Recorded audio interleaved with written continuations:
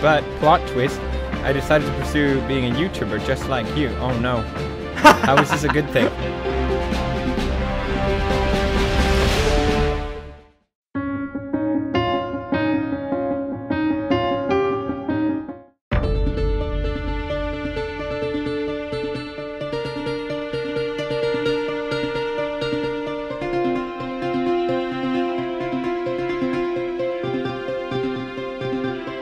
The Freedom Network actually has provided a way for me to be able to do about three and a half million cover songs, all in all, and without worrying about copyright, um, any strikes, um, getting sued, or anything. So, figure why not, you know? Sheesh.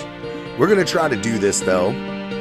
We are because I am enjoying all this new stuff that Freedom's doing for my account, for my channel, and yeah, you know, it's it's cool to me, and I want to take advantage of it.